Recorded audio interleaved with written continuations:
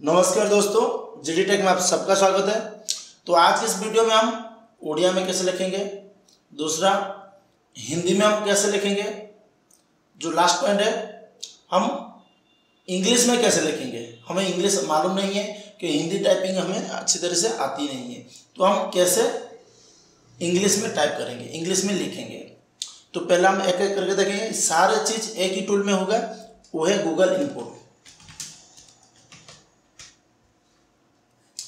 Google input tool online में click कीजिए, जो गूगल का ही प्रोडक्ट है। अभी यहाँ पर आ गया, हम इसे मिनिमाइज करते हैं। अभी देखिए, मैं यहाँ पर हिंदी में लिखना चाहता हूँ।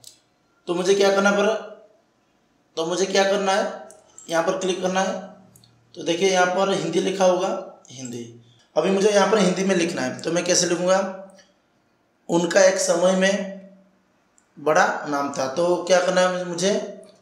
उनका उनका एक समय इंग्लिश में टाइप करना है, मगर ये ऑटोमेटिकली हिंदी में कन्वर्ट कर देगा।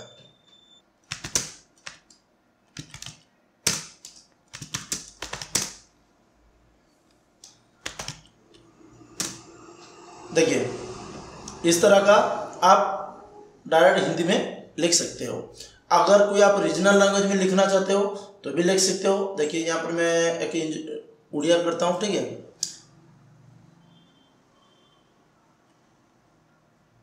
तो आम ये ओडिया लिखा अनेक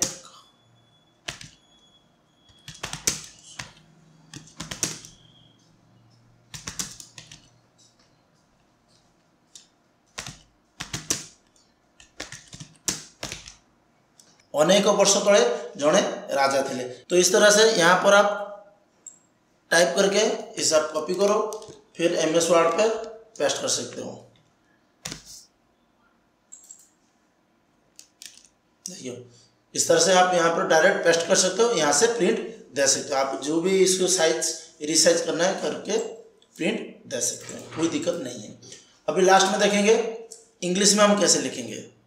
गूगल पे आना है तो यहाँ पर क्या करना है आपको? Hindi to Hindi to English आपको टाइप करना है।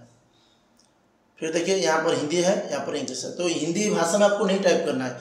आपको यहाँ पर सिंपली लिखना है, उनका एक समय में बड़ा, जैसा आप टाइप कर रहे हो इंग्लिश, हिंदी में, मगर इंग्लिश स्पेलिंग के साथ, मगर वो कन्वर्ट करके आपको इंग्लिश में, इस तरह से आप जितना चाहे लिख सकते हो। ठीक है? अगर आप हिंदी में भी लिखना चाहते हो, कोई कन्वर्ट करना तो ये आप पर कन्वर्ट भी कर सकते हो। तो इस वीडियो में इतना ही। Thank you for watching